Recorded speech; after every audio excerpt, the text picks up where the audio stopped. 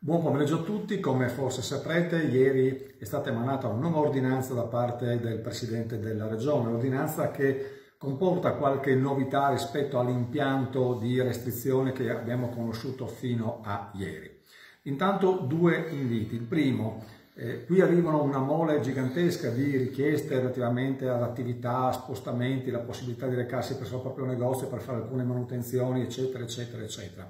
Guardate, per avere la risposta alle vostre domande specifiche è opportuno consultare il sito del Ministero degli Interni che contiene una ricchissima letteratura da questo punto di vista. Trovate tantissime domande frequenti con relative risposte anche molto dettagliate. Così come vale sempre il suggerimento di consultare il sito del comune che ha numerosissime informazioni per gestire al meglio la propria quotidianità durante l'emergenza virus.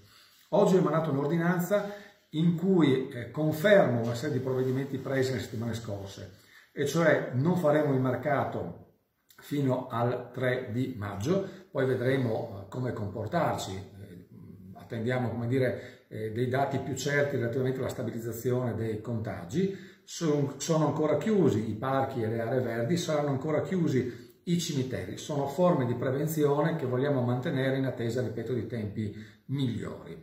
E prorogheremo oggi in giunta anche il non pagamento dei parcheggi almeno fino a questo fine settimana, poi rivedremo eh, eventualmente la misura dipendentemente da come andranno le cose. Per quanto riguarda invece gli orti sociali, oggi li riapriremo, quindi coloro i quali hanno assegnatari quei piccoli appezzamenti di terreno eh, comunali potranno tornare a coltivare i loro ortaggi e le loro verdure, così come coloro i quali hanno degli orti anche distanti da casa ma che servono per l'approvvigionamento quotidiano, settimanale di frutta e verdura potranno tornare a coltivarli tranquillamente. Potete recarvi nelle attività che sono aperte in città. Il decreto del Presidente del Consiglio dei Ministri ha un allegato in cui specifica tutte le attività che in città possono rimanere aperte, quindi con l'autodichiarazione potete recarvi può entrare un solo componente familiare all'interno del negozio, salvo ovviamente che dobbiate accompagnare una persona disabile oppure una persona anziana non autosufficiente o che magari abbiate un solo figlio, non sapete a chi lasciarlo, allora potete farvi accompagnare. Ma da oggi in ogni vostro spostamento dall'abitazione dovete avere o la mascherina o qualcosa di simile, quindi un foulard piuttosto che una sciarpa per proteggervi naso e eh, bocca. L'esercente e può riguardare tanto il supermercato quanto il piccolo negozio del dettaglio, deve assicurare al cliente che entra o i guanti o il gel disinfettante. Mi rendo conto, sono già arrivate alcune lamentele eh, dell'esercente che deve attrezzarsi nel fornire il gel o i guanti, però purtroppo questo è ciò che dice l'ordinanza. Eventualmente vi consiglio di rifornirvi di un barattolo come questo che consente di poter dare risposta a un numero importante di eh, clienti. E comunque il cliente deve sempre avere la mascherina quando entra, quindi mascherina o qualcosa di simile. La parte più importante che ha comportato una marea di domande, di messaggi, è quella relativa alle passeggiate. C'è un'apertura significativa.